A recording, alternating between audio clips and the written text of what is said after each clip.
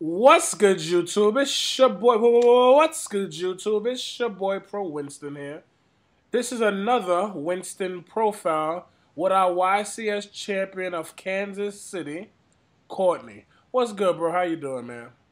Doing all right. How you doing, man? I'm fine. I'm fine. You was probably on the original idea of the Winston profile, but I had to bring you back today because YCS Atlanta's coming up, and I need the whole world to be reminded of the reigning state champion. I like to say. So, yeah, your hometown area again is um Norfolk, Virginia. All right, all right. Well, I'm just gonna get straight to the point with you. What do you believe Atlanta will be basically about, as far as decks? Um, of course, you know there's gonna be windups in there. Windups are hyped up, and it's not the fact they're hyped up. Things that I view that are hyped up are usually going to lead up to not being actually that great, but windups are actually pretty good. They're consistent. Um, their plays are not just the same. Of course, they go for the hand loop, but in game two and three, they switch it up and go into like the side deck, which usually leads out to be a stun variant. But there's always a different form of stun with each person. So I really like windups. Um, and sectors, even though I discussed with you that I hate the deck, it's still a good deck. Um, so I believe you're going to see those two. You're going to also see a lot of bandwagoners that are going to run Six Sands because Six Sands won Guadalajara. So um, those are three. Of course, Dino Rabbit because that's still a great deck. I don't care what anyone says. And um, you're going to see a lot of randoms because, like I mentioned before, YCS Atlanta is going to be like testing ground for this format. Everything and anything goes. Like you can't look at somebody and say you're stupid for running X Sabers or stupid for running whatever this is whatever's going to fly. We're in a chaos format, so play whatever you want to play. So we're going to see a lot of random stuff, but those are the top four that I view that I feel that we're going to see like majority of, and then all the Randys. Um, if I remember when I topped in YCS Dallas with Samurais, my own version of it, um, it was proclaimed that whoever won that jump will be known as probably one of the wackest players because they took the cheeses deck and won.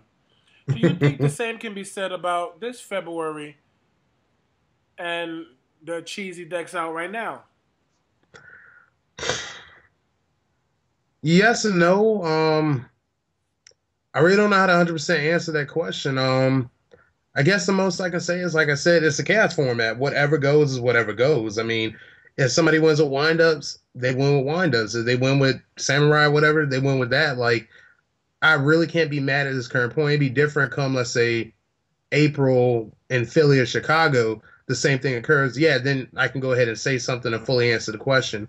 But right now, I really can't get mad if windups or anything else won because it's a chaos format. Anything and everything will fly right now. All right, all right, all right. And um, what is your what is your opinion on the cards, the side deck for the windups and insectors? Um, besides the Oscar Shadow and Prisoner Mirrors and all that. Right. Um, I'm actually doing an article that was due like two weeks ago for TCG Player, but it basically is what you just asked me: side deck and main deck text. Um, my suggestions for everybody for windups. Um, game one, if you don't open up with a maxi, I'm sorry. Count your hand at a loss and try and play out of it. If you can't, go to game two and just know the majority of them are probably going to go into a side variant and decide for like stun, just side for stun. Um, Doom cows are going to be a big thing. If you can, I would probably say main deck Doom cows because T King really isn't doing that much this format. But Doom cows, Cyber Dragons, because they go ahead, they're big beaters. They get under Maxi and different stuff. They dodge that. So I'd probably say that decrees most of all, or Trap Stun, whichever you prefer, but decrees because everything right now is a seven plus trap lineup. So decrees to go ahead and lock them out and um, I'd probably say for Inzektors, I would say Kycoo. Like I was sitting down last night and I was thinking what could be really devastating. I would probably think, even though they can go into Leviair extremely fast, I'd probably say Kycoo, knock their Hornets out as fast as you can and just cripple the deck. And Prohibition for both decks. Because Prohibition, you can go ahead and call out uh, Hornet for Inzektors and then call out Rabbit or Shark for uh, windups. Um. All right. All right. And do you believe that Dark World will still be a deck, as far as a deck to be worried about in a side deck? And do you I feel was... Gravekeepers would be a still a contested deck because I want to play Closed Forest. Do you believe it's even a thought? All right. I don't know if my team will get mad for me discussing this, but we had came down and yes, yesterday, not yes, yeah, yesterday was Sunday. Sunday, Saturday, and Friday, we had a big team meeting and we discussed a lot of things. And um, like I had predicted, like if you look at my Facebook, I had said six sands are gonna like if anybody plays that, they're probably gonna top it Guadalajara. Lo and behold, they won. But um, I had mentioned Gravekeepers before because I'm like I hate Gravekeepers and I hate anybody that plays it. But right now, if anyone played Gravekeepers, I would have a lot of respect for them because everything right now is high monster count, and then everything needs the grave to go off. So if you shut off the access to that, you really can't do much right now. So I'm like, I really think Gravekeepers would be something to slightly be worried about.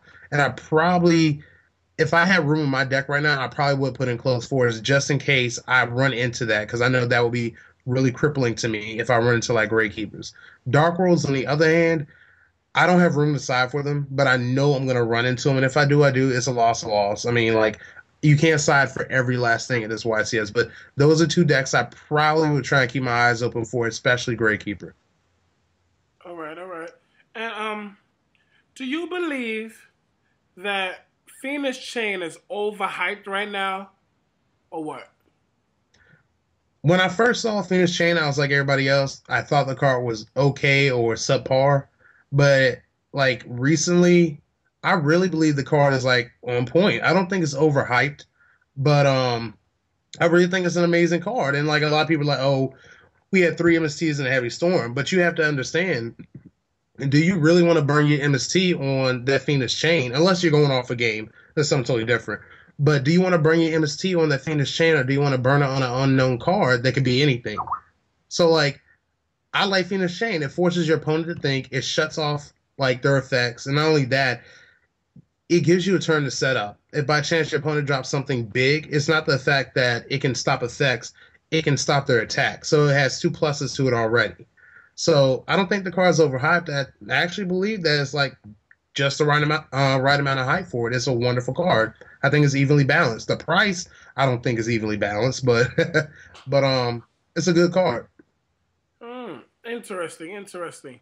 And would you give a six samurai deck respect as far as um it even being played because I don't think a person should pick up Six Samurais right now and play it. If the person, all right, like the person at Guadalajara, I got some respect for him, only for the fact that, not for like everything that went on, that ruling is BS, but um, for them to pick the deck up and say, I'm going to go against the meta and I'm going to run this, yeah, of course I have a lot of respect for that because it's not 100% originality, but at the same time, it's some form of creativity that I don't have to bandwagon to go ahead and take my victory. Anybody right now that would pick that up, I probably wouldn't have respect for them only for the fact that I feel that they're bandwagoning again and jumping onto the deck. And then at the same time, we have no clue that maybe at the players' meet at YCS Atlanta, the head judge can go ahead and turn down that previous ruling, which now you're stuck with a deck that has the same liabilities as every other deck versus Hornet or something else. All right, well, thanks, Courtney. And um, once again, I just wanted to say congratulations for your win and good luck in Atlanta, man. You already know if it's not pro, it got to go deuces. Thank you.